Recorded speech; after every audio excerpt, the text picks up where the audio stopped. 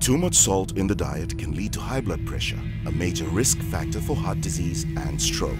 Although most salt is hidden in food, it's still a good idea to put that salt away.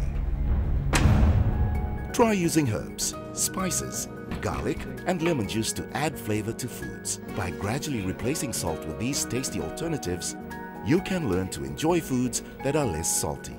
More flavor, less salt.